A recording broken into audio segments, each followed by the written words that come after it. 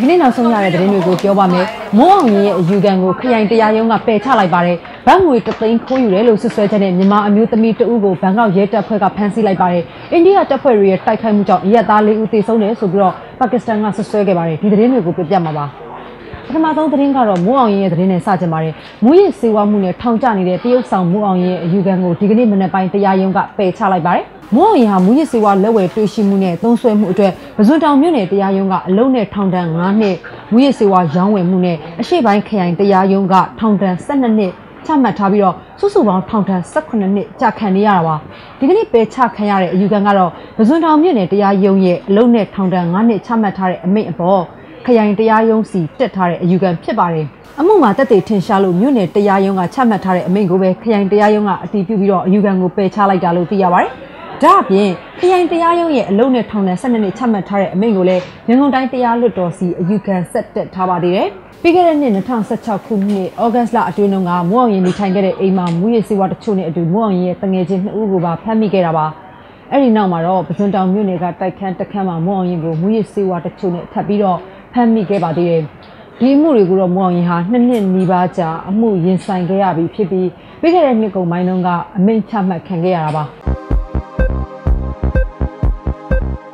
ဒုတိယသတင်းတစ်ပုဒ်ကိုပြောပါမယ်အလုတ်ရှင်စီကဘတ်ငွေတသိန်းခွင့်ယူကြောင်းဆွဆွဲခံရတဲ့မြန်မာအမျိုးသမီးတဦးကိုထိုင်းနိုင်ငံဘန်ကောက်ရဲတပ်ဖွဲ့ကဖမ်းဆီးစစ်ဆေးနေပါတယ်ဘန်ကောက်ရဲတပ်ဖွဲ့ရဲ့လူမှုကြီးကြပ်ရေးဌာနခွဲအကြီးအကဲ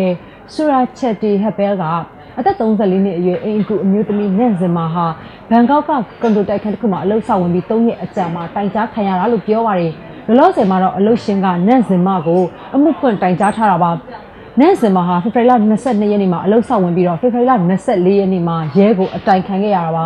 အဲ့ဒီအမျိုးသမီးကသူ့ရဲ့ခမရဲ့နာရီကိုတွားချင်လို့ဆိုပြီးတော့အင်ရှင်တွေစီမှာခွင့်တောင်းခဲ့ကြောင်းသူထွက်သွားပြီးတဲ့အချိန်စစ်ဆေးကြည့်တော့အင်ရှင်တွေရဲ့ဘတ်ငွေတသိန်းမြန်မာကျပ်ငွေနဲ့ဆိုလို့ရှိရင်တော့350ဝန်းကျင်ပြောင်းနေတာကိုအင်ရှင်တွေကသိရှိသွားကြောင်းရဲဌာနမှတ်တမ်းတွေမှာဖော်ပြထားပါတယ်နောက်ဆက်တွဲရှာဖွေမှုတွေပြုလုပ်ခဲ့ရမှာတော့နန့်စင်မကိုမှားယမ်းထားတဲ့တိုက်ခန်းတစ်ခုမှာခင်မွန်းဖြစ်သူနဲ့အတူရဲတွေကရှာဖွေဖမ်းမိခဲ့ပါတယ် ပျောက်ဆုံးနေတဲ့ဗတ်ငွေတသိန်းကိုလည်းနန့်ရွှေစင်စီမှာပြန်ပြီးတော့သိမ်းဆည်းရမိခဲ့တယ်လို့ရဲတွေကပြောပါတယ်အမှုကိုတော့ဆက်လက်စုံစမ်းစစ်ဆေးနေသေးပါ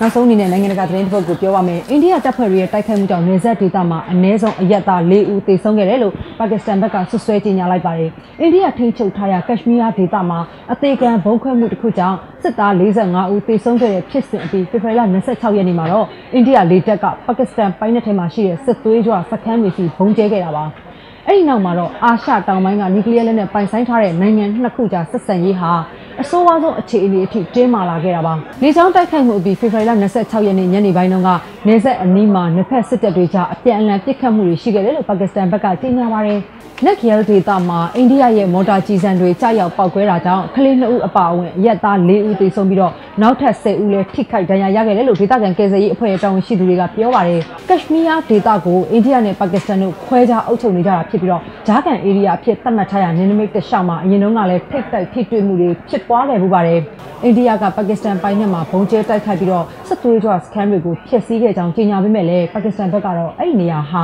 ဘာစစ်သွေးကြွစခန်းမှမရှိဘူးဆိုပြီးတော့တုံ့ပြန်ခဲ့တာပါ။အခုဖြစ်စဉ်ဟာဘင်္ဂလားဒေ့ရှ်လွတ်လပ်ရေးအတွက်နှစ်နိုင်ငံစစ်ခင်းကြတဲ့1982ခုနှစ်နောက်ပိုင်းအိန္ဒိယကပါကစ္စတန်ရဲ့ပိုင်နယ်ထဲမှာပထမဆုံးအကြိမ်လေကြောင်းတိုက်ပွဲဆင်နွှဲမှုအနေနဲ့မှတ်တမ်းဝင်လာခဲ့ပါတယ်။